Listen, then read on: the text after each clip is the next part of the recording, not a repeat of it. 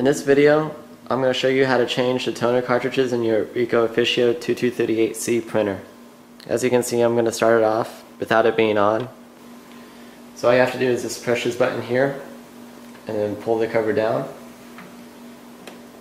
And inside you're going to find your uh, color cartridges along with your black cartridge.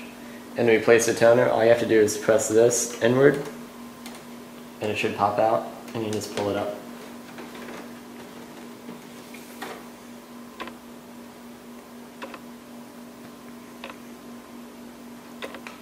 And then to put it back,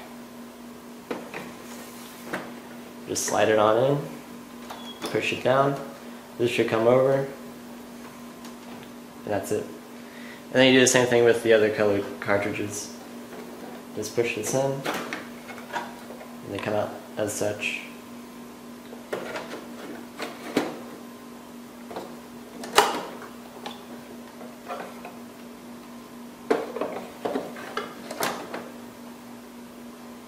And you do the same thing for this color. Just push in this green tab, pops out, and you just place it, slide it back in.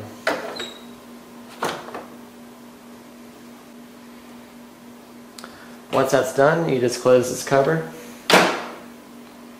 and turn on the printer. And it should automatically calibrate the new cartridges. Right now this is saying the yellow cartridge isn't set properly.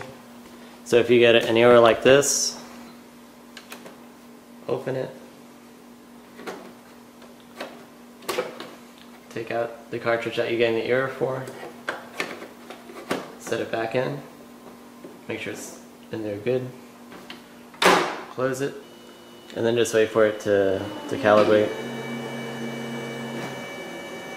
Now it's done calibrating and you should be good to start using your printer.